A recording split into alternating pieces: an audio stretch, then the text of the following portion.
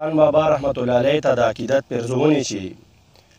منمه چې کړو او زړه چودون د باچا خانو یووالی لوی ارمان او لوی سکون د باچا خانو د جبر نه باغي وو د نفرت نه یې نفرت وو د عدم تشدد سره یې مینه محبت وو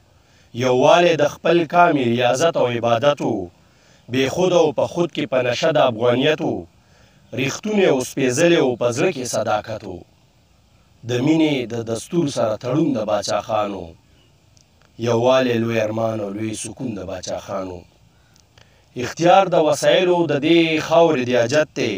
چې څومره ورته ستا دی همدومره هم ضرورت دی خو مونږ سره په دغه د دې خلکو عداوت دی زمونږ د دې خلکو د نفرت ځینې نفرت دی بابا راته ویلي وو همدغه حقیقت دی دا هر څه په تاریخ پاتې مضمون د باچا خان و. یووالی لوی ارمان او لوی سکون د باچا خان و. طبیعت یې د ملنګو دنګو غرونو ته ټیټ نه شو، د وخت د سامراجیت لوړو سرونو ته ټیټ نه شو،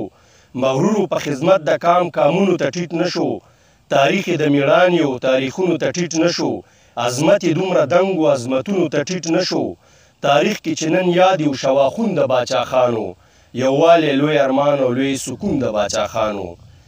راځئ چې دواړه کینو له تا سره غږیږم.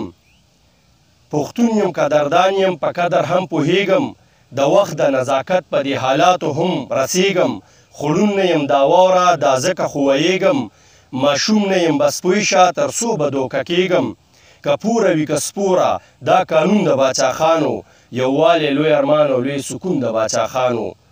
پراته چې خوار و زار یو، حیران یو، پریشان یو، د ژوند په دې ښکلا کې بې ځمکې بې اسمان یو، یاد شوي ترهګر یو، اخته ګوره په ځان یو، نه سر مو سلامت دی، نه کور باندې ودان یو، د غوږیو په لټون کې د سپي پسې روان یو، راټول چې پښتون نه شو، دا بېلتون د باچاخانو، یووالی لوی ارمان او لوی سکون د باچاخانو.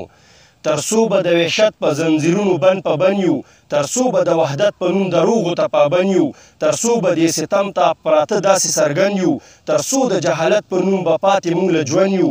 تر څو به بې بالښته اوده په خپل مړوند یو د قام په دغه غم کې سرنګون د باچاخانو یووالی لوی ارمان او لوی سکون د باچاخانو